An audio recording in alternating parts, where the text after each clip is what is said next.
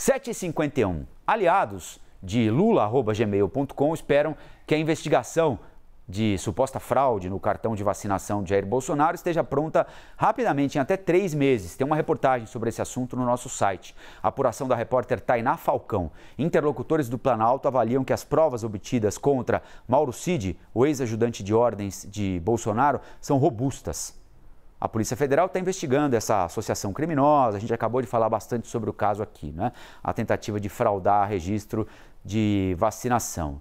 Por quê? porque com o registro fraudulento, mesmo sem tomar a vacina, o indivíduo cujo registro é fraudulento teria o cartão de vacinação, comprovando uma suposta vacinação que nunca existiu.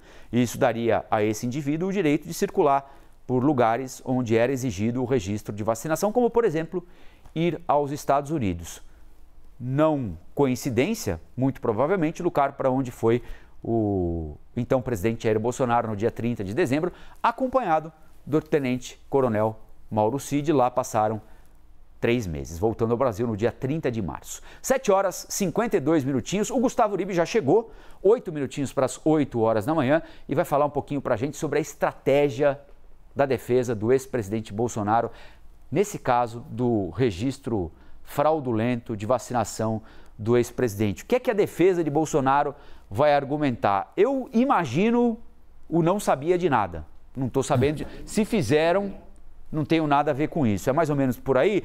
Tá certo o meu faro ou não, hein, Gustavo Uribe? Foi um expediente que Jair Bolsonaro utilizou muito, sempre terceirizando a culpa. Nunca era com ele, sempre era com algum assessor que fazia alguma lambança durante os seus quatro anos. Inicialmente, bom dia a todos. Bom dia, meu amigo Colombo. Bom dia, meu amigo Vila e a todos que nos assistem no Novo Dia da CNN Brasil. A estratégia da defesa está mudando um pouco, viu, Colombo? Inicialmente era essa linha que você vinha apresentando, que você teria uma tentativa de distanciar a figura figura de Mauro Cid, ex-ajudante de ordens, de Jair Bolsonaro. Dizer que Jair Bolsonaro não sabia de relação àquele esquema da tentativa de fraudar registros de vacinação.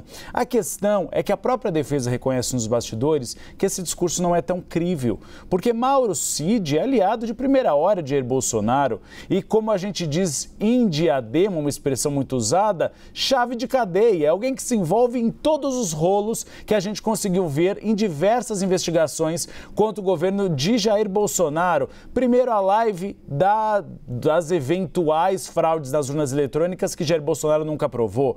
Depois, relacionando aquele estudo científico de AIDS em relação ao, à vacina do coronavírus, contra o coronavírus. Depois, a questão do financiamento a movimentos golpistas. Depois, o pagamento em dinheiro de funcionários do Palácio do Planalto em relação ao cartão corporativo corporativo. Então, se há um problema, Mauro Cid, pelo menos nos últimos tempos, é citado em todos.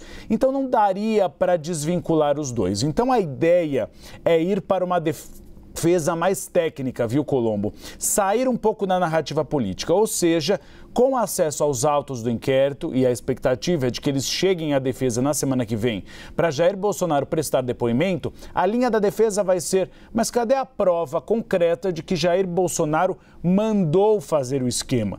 Cadê a conversa telefônica que Bolsonaro conversou com o Cid para que ele imprimisse aqueles certificados? Então será uma defesa mais na linha técnica de que com a ausência de provas, não há possibilidade de condenar Bolsonaro. É, há uma avaliação interna de que causou um desgaste muito grande na imagem de Jair Bolsonaro. Um estudo feito pela Genial Quest, que chegou às mãos de dirigentes do PL, mostrou que furou a bolha bolsonarista. Você teve 81% de menções negativas desse episódio. E a estratégia política vai ser separada da estratégia jurídica. Se de um lado é dizer que não há provas que coloquem as digitais claramente de Jair Bolsonaro, Bolsonaro, apesar de termos aquela teoria do domínio do fato do mensalão. Quem mandava em Mauro Cid era Jair Bolsonaro. Mas você tem uma estratégia política de não ir para abaixo dos holofotes.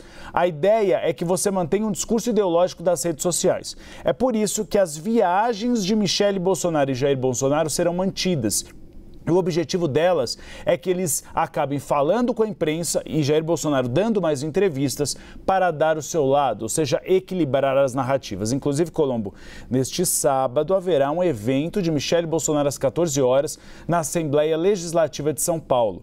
E a orientação política é que ela fale e defenda seu marido.